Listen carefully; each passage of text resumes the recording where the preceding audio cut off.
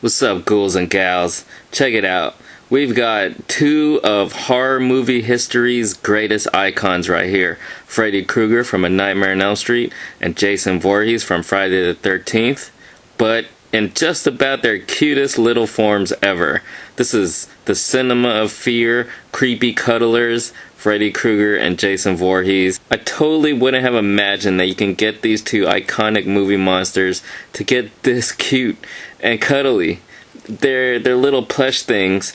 Um, they're actually like danglers. As you can see, they have these uh, little clips at the top and so you can use them to clip on your backpacks or, or bags of any kind.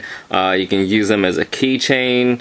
Uh, you can wear them as a necklace. Or uh, I don't know whatever. Hang them from your um, rear view mirror. Here's a 360 of Freddy. Um, really cool. And then here we go with Jason. Again you know it, it, they retain the uh, the designs of these characters really well, even in this super cartoony form. If you're a fan, you're gonna want these. I mean, look at these things, and look at them looking at you, staring deep in your soul. Just, you know, you wanna get these.